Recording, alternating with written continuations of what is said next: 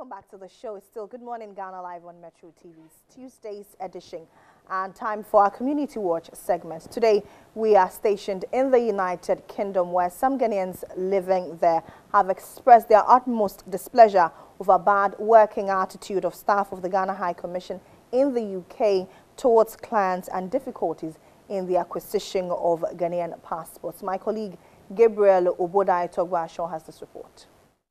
I'm with a number of Ghanaians based here in the United Kingdom, and uh, it appears they have a concern regarding renewal of their passports or even acquiring one. So uh, let me talk to a number of them to know exactly what this is all about. Welcome to Metro TV. Thank you. Uh, I'm Nana Abuobu. How worrying is this? Um, in the past about three years now, we've had serious problems. It took me about two years to get my passport early this year. Mm. After applying, the passport was with them for nearly two years.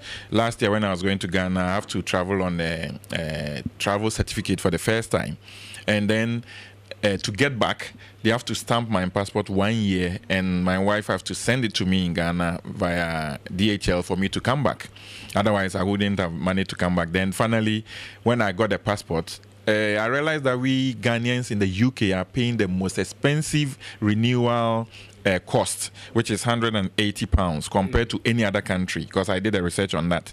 And then uh, I realized that even the Ghana High Commissions elsewhere, they've all got different charges. Okay. So it is not a one rate that we are all paying; it's different charges. Then I found out that in Ghana, it is just only 50 cedis. Mm. So if they are charging 50 cedis in Ghana, America is charging their own, Italy is charging their own, Germany is charging their own. How come we in the UK are being made to pay 180 pounds? I think it's too much, and the time it takes for the passport to uh, be renewed is also too long.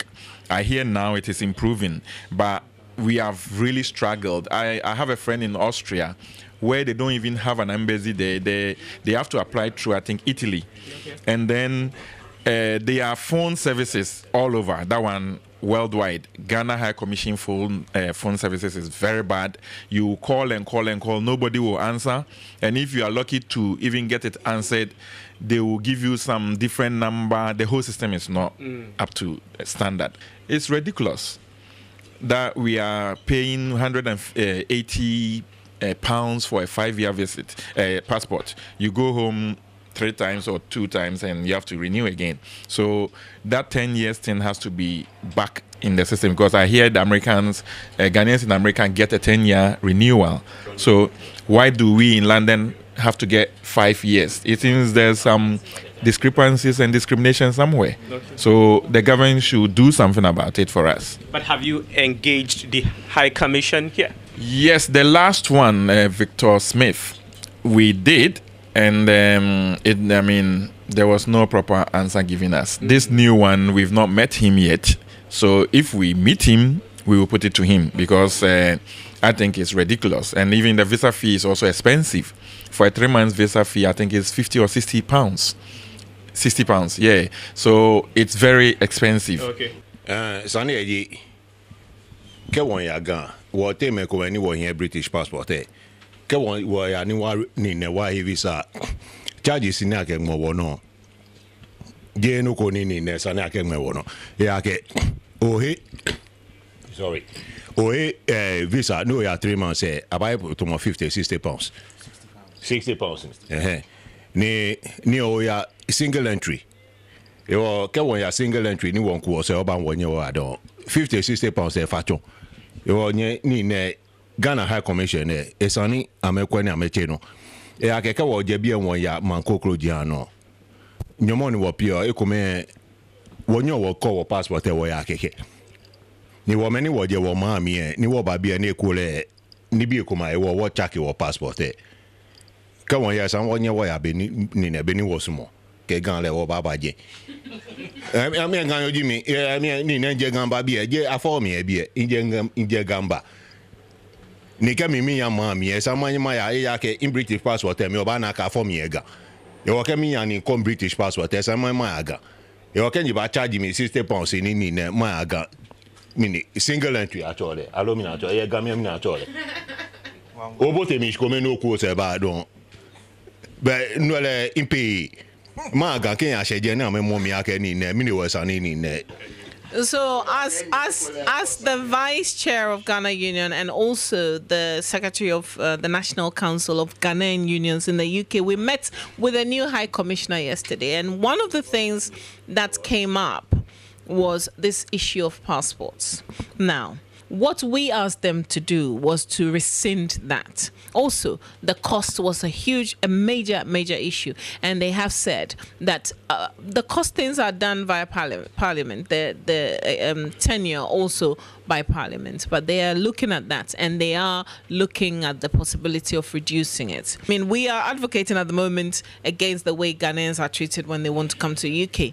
So when we go to UK visa offices they ask us for a certain amount of money.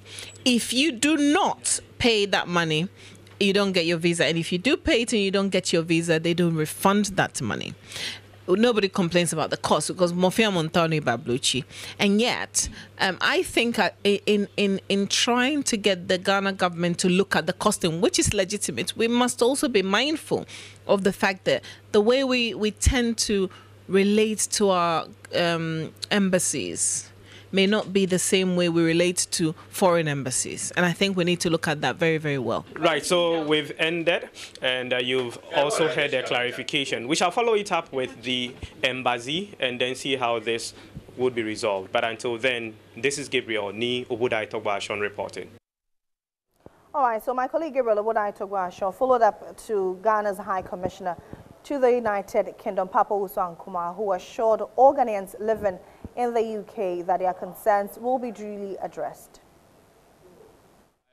I arrived here on the 13th of uh, June, mm-hmm. and then fortunately, the president also followed the following day. And on the 16th of June, he had a town hall meeting with the Ghanaian community. Right. That was the first time I heard this. So it was raised in the presence of the president and the Minister for Foreign Affairs. And in her answer, the minister indicated that the concerns will be forwarded to government and to be considered.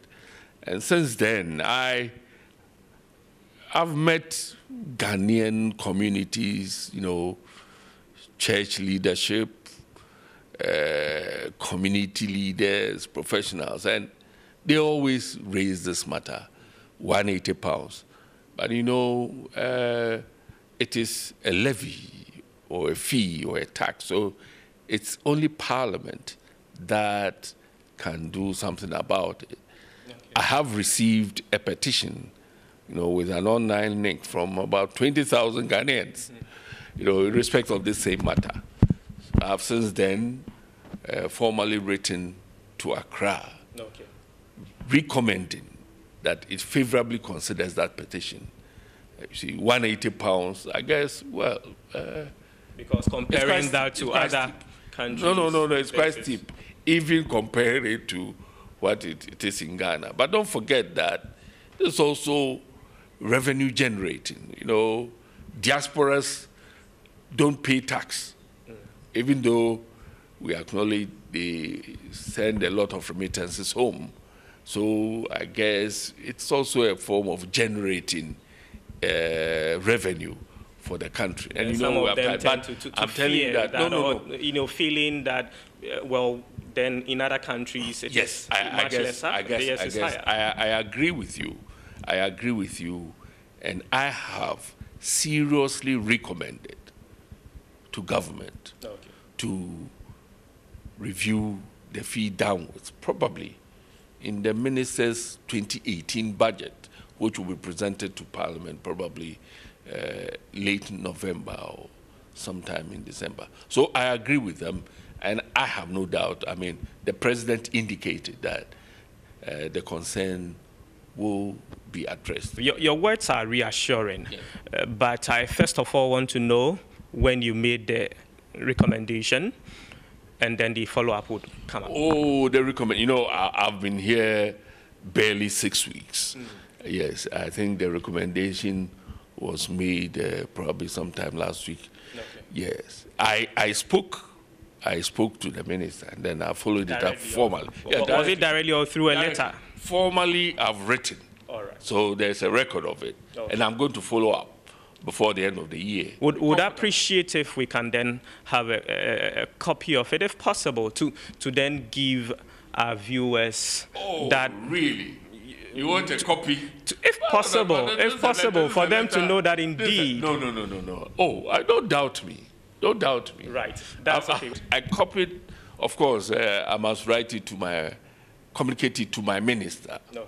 who then uh, communicated to government. But it may interest you to know that I copied the chief of staff, I copied the minister for finance, and then the majority leader and minister for parliamentary affairs. Okay. And I intend talking to them too subsequently so that uh, uh, the request doesn't get lost through the cracks, you know. Uh, there are so many things on the minds, but, and this has to do with revenue. It's key. Yeah. Yes, it's key. We need a lot of revenue in order to uh, pursue government's programs and agenda. I've also heard complaints, customer service. Exactly. That, said, that would have been my I next question to you. Yes, the, the fact but- that people are describing it to be very terrible. You know, you know, you know. answering calls, even the, the rapport between. I guess, I guess, I guess, I guess. Uh, I had, I had a, a durbar with the entire staff of uh, the High Commission Okay. at the passport and visa section, and I, I said, look, uh, we are serving customers, so please. We should never argue with them. We are always wrong. Let's always accept that we are wrong. Uh, yes, yes, it's always right. Yes. And recently, I mean, I understand somebody came. I mean, apparently, you know, it's it's quite. You never know. The stress here is quite high. I understand when the person was coming from home with the husband. I mean, even in the bus, it seems as if she she she, she was getting into altercations with everybody. He brought it to brought it to the uh, passport and visa section. I mean, then they said he was surprised. Oh, she complains. Nobody was talking. Oh, why? You are also ignoring me. I said, I said, look, now let's try to please our people. You know, Ghanaians, we are difficult to please. All right, and of course, uh, we expect the highest level of service. I mean, that's Ghana for you, you know. So we want to, we want to be with the top uh, in the world. So we are, we are upping our game. Uh, they should be patient with us. Right. Beyond having interacted with them, should reports get to your desk that some of the staff members have acted inappropriately to any of the clients In coming fact- around? fact, Would you crack the whip on them? No, no, no, no. There's a a system. There's a system in place where you can complain. All right, and all those working there have name tags, so you can report. When you report, the necessary action investigation will be undertaken. I'm very much concerned about Ghanaians here. And I've said, I don't know, I've said, I come, they tell me a lot of Ghanaians have problems. Some are in prison. I've made a request through the consular division, you know, for the Home Office to try and get us a list of all Ghanaians in custody, in prison, so that we can provide consular services. All right? You see, and look, there are young people here. Look, there's so many opportunities, but there are also so many challenges facing young people here. I mean, in terms of counseling, in terms of uh, community uh, contribution to their raising, you don't have it here. So you may have wayward young people. People have stress. You know, it's so easy in this country.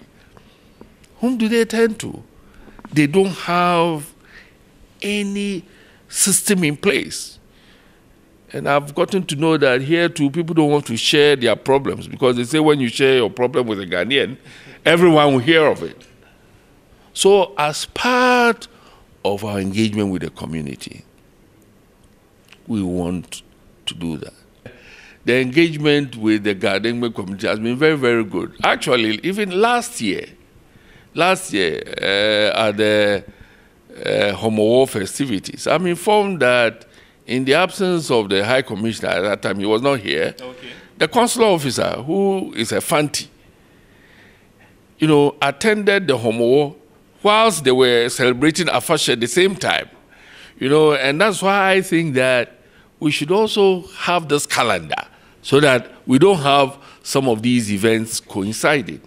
All right? Okay. So that we can give, I mean, others can come and support others mm. in their celebration. And, and that's also one idea that I'm going to throw to them. Look, we have major festivals in Ghana. If possible, let us make these festivals not necessarily uh, Ghanaian com ethnic community based, but something that will embrace the entire Ghanaian community. Right? Okay. I'm having a durbar with the Ghanaian community on the 19th of August at Highgate Hill, where we have our, our passport and visa section. Okay. Yes, for Ghanaians in London and the southern part of the United Kingdom. It's also my intention that, well, later we schedule another event for those in the Midlands and then the North so that there will be this engagement. Thank you very much, and we wish you the very best. You've heard from uh, His Excellency Papa Owusu Ankomah, the High Commissioner for United Kingdom, and we wish to thank him so much for the time spent with us, agreeing to speak with us. Uh, you've just watched Community Watch, exclusive uh, edition on Good Morning Ghana on Metro TV. I wish to um, thank Titus Evans, uh, Bishop T, known by friends, and also Nachocho Soyo, our very own Queen Mother and a leader within the uh, Ghanaian community right here for facilitating and making this possible. My name is Gabriel Obodai Togbo Ashon. Bye-bye for now. Right, so that was our Community Watch segment uh, with Gabriel Obodai Togbasho interacting with some Ghanaians living in the UK as well as, the, as Ghana's High Commissioner to the United Kingdom.